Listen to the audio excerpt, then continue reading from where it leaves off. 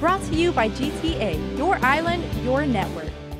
It's considered a major step in moving forward with the implementation of medicinal marijuana. And after months of review, the rules and regulations have been approved, but we're not done just yet. So it'll be a matter of transmitting it to the governor. Uh, the governor can take as much time, I guess, as, as his staff needs. And then when their review is finished, they transmit it to the legislative secretary. Uh, who happens to be uh, the, same person who was one of the proponents. Earlier this week, the AG completed her review but requested a revised economic impact statement from Public Health. Director James Gillan says this revised version was needed because the cost to operate the program is now estimated to exceed more than half a million dollars.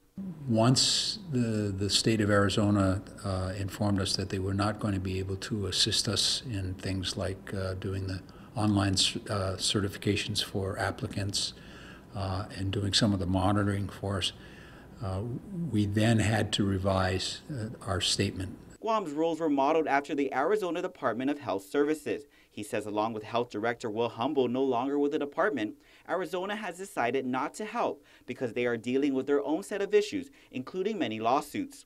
As for the new estimated cost, it could range as high as $700,000.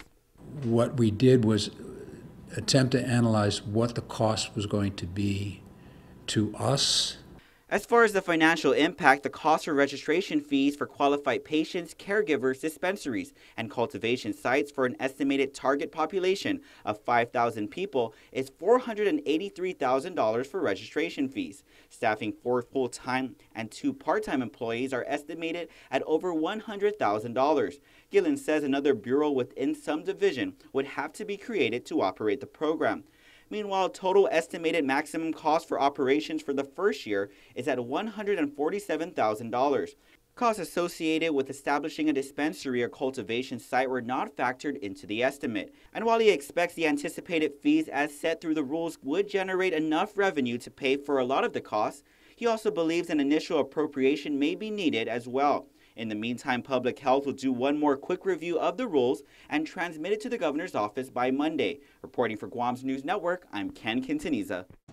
Brought to you by GTA, your island, your network.